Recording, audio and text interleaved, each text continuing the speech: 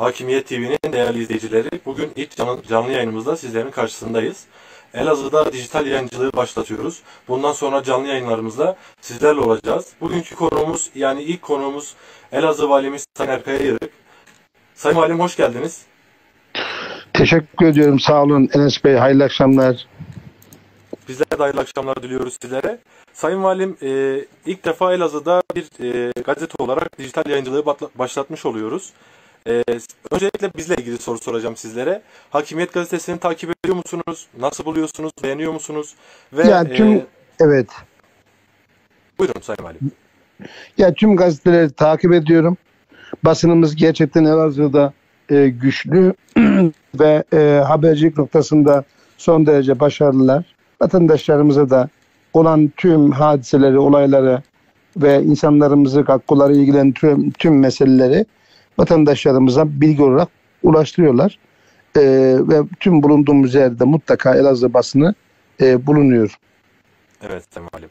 Ee, ilk sorum olacak pandemiyle ilgili olacak Sayın Valim. Pandemiyle ilgili evet. ne durumdayız? Vaka sayılarımız zaten düşmeye başlamıştı. Bu hafta az da olsa bir yükseliş gördük ama e, şu anda ne durumda olduğumuzu gerçekten merak ediyoruz vaka sayısında Elazığ olarak. Evet yani bu e, kontrollü normalleşme sürecinde e, tam kapanma kapanmadan önce biraz rakamlarımız yükselmişti ama daha sonra e, normalleşmeyle birlikte kontrollü normalleşmeyle birlikte e, tam kapanma sonrasında e, rakamlar düştü. E, evet. Ama tabii e, rakamların düşmesinden e, mütevellit e, virüs e, sıkıntısı, musibeti ortadan kalktı diyemiyoruz. E, yine aynı şekilde devam ediyor e, düşüncesiyle tedbirleri, maske, mesafe ve e, hijyen kurallarını yine im, ihmal etmeden e, takip etmekte, uygulamakta fayda mülahaza ediyorum. Evet. Ee, inşallah bu sayı daha da düşecektir. Yani şu anda geldiğimiz noktada önemli ölçüde e, rakamlar, sayılar düştü. İnşallah daha da düşecektir ama aşılamayla birlikte aşılamanın çoğalmasıyla birlikte vatandaşlarımızın aşılama noktasındaki tereddütlerin de ortadan kalkmasıyla ve e, e, aşı konusundaki e, müspet yaklaşımının devam ettirilmesi e, suretiyle de İnşallah bu oranların, vaka sayılarının daha da düşmesini e, bekliyoruz. Anladım. Ee, Sayın Valim, peki yeni normalleşme döneminde önemli olan bir konu da turizm. Elazığ'da turizmle ilgili yeni dönem için çalışmalarınız olacak mı? Hazırda projeleriniz var mı? Bizleri neler bekliyor Sayın Valim? Şöyle bizim e, Fırat Kalkınma Ajansı'nın e, finanse ettiği projelerimiz var. E, öncelikle e, Elazığ Kent Müzesi var.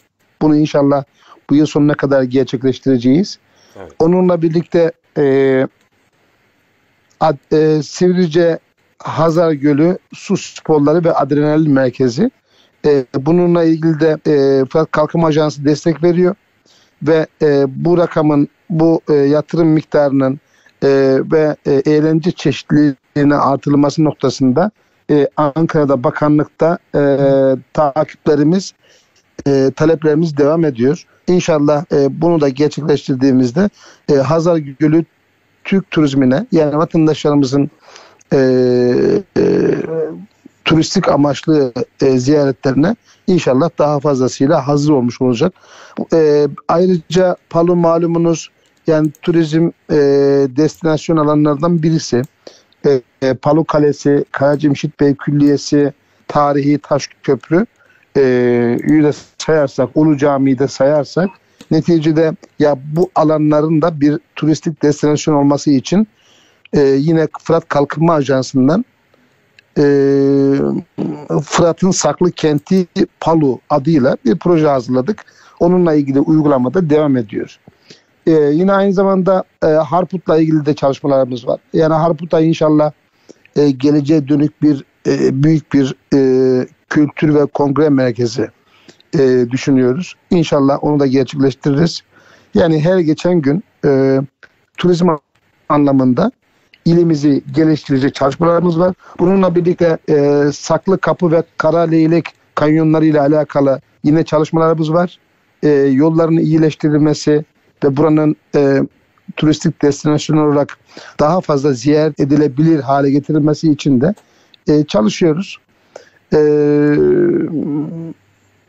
bununla birlikte e, özellikle kış turizmi için e, Hazarbabak kayak tesislerini daha da iyileştirerek oradaki hizmetin e, e, tatmin edicilik yönünden e, güçlendirilmesi için de e, çalışıyoruz. Onun üzerinde de projemiz var.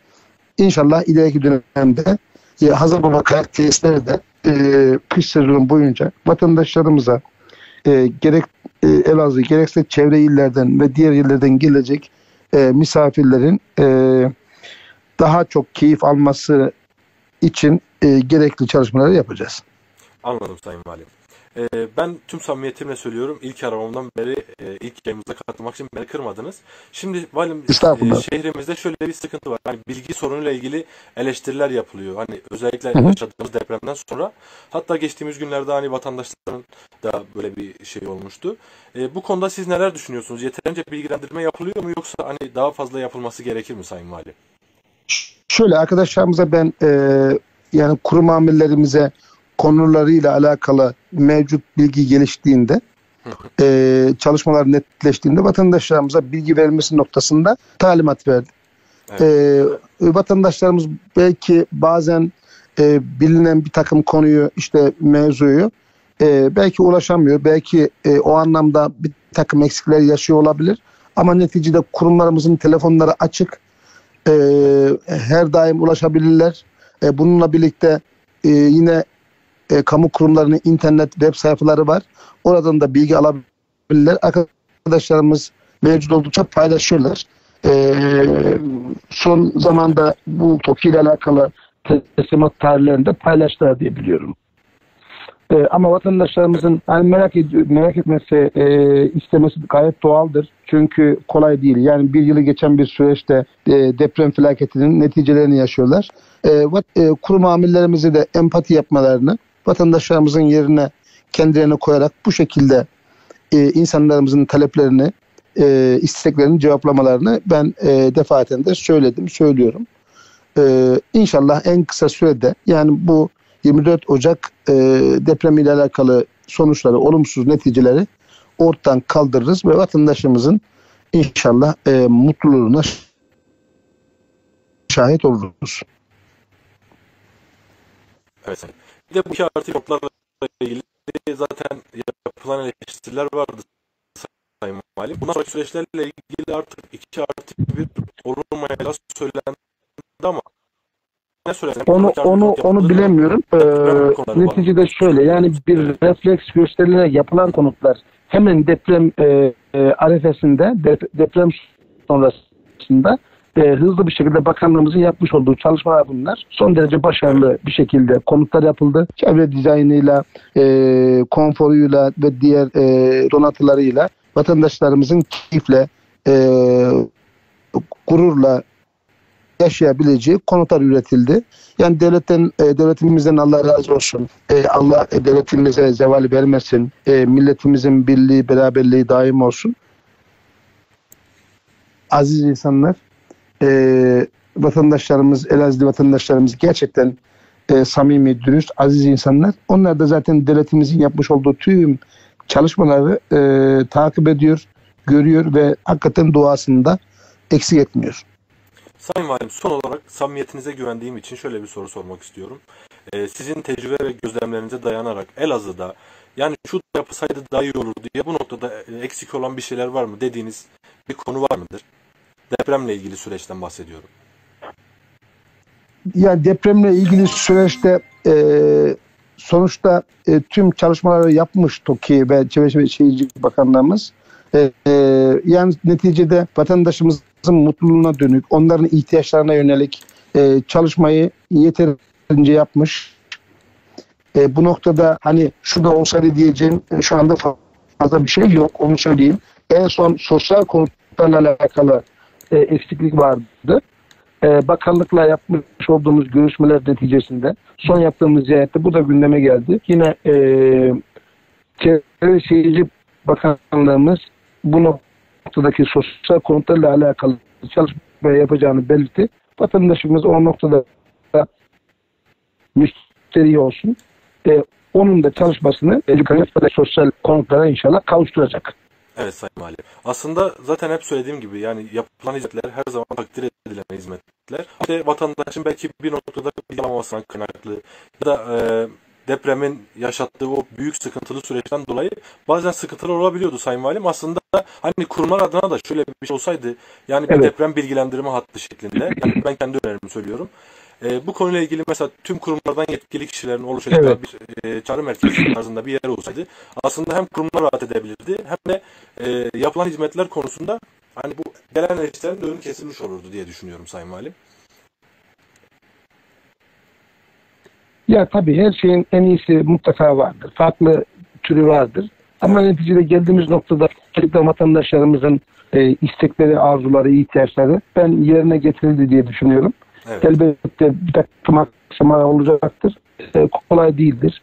Yani böyle bir büyük deprem yaşamış e, canını kaybetmek oluşlarımızın e, bu noktada bir takım e, mutazarrır olduğu konular olacaktır. Ama devletimiz yoğun bir şekilde çalışıyor. E, kurumlarımız vatandaşımızın ihtiyaçlarını, taleplerini karşılamak için e, elinden geleni e, fazlasıyla yapmaya çalışıyor, yapıyor. Evet. Sayın Valim çok teşekkür ederim. Bizi kırmadınız. İlk yayınımıza Ee, katıldınız. Ben ben teşekkür ediyorum. E, Söylemek istediğiniz bir şey varsa e, son Enes Bey, alalım son olarak Elazığ'dan. Estağfurullah. Ben e, sizler de e, dijital yayıncılık noktasında yapmış olduğunuz bu girişim dolayısıyla kutluyorum. Evet. E, hayırlı olsun. E, ben muvaffakiyetler diliyorum sizlere de. Çok teşekkür Ee, ediyorum. Bana e, bu yayıncılığın ilk e, hitabını vererek vatandaşlarımıza bu noktada bilgi aktarma fırsatı verdiğin için de tekrar teşekkür ediyorum kardeşim. Bizler de teşekkür ederiz. Hayırlı Evet, olsun. sevgili- Sağ olun. Sağ olun. Sevgili hakimiyet takipçileri ilk yayınımızın sonuna geldik. Bundan sonra her hafta çarşamba günü şehir kalbinde önemli konuları konuşmaya devam edeceğiz. Siz de bizi yayınlarımızı paylaşmanızı e, istiyoruz. Bize bu şekilde sağlayabilirsiniz. Herkese hayırlı akşamlar diyorum.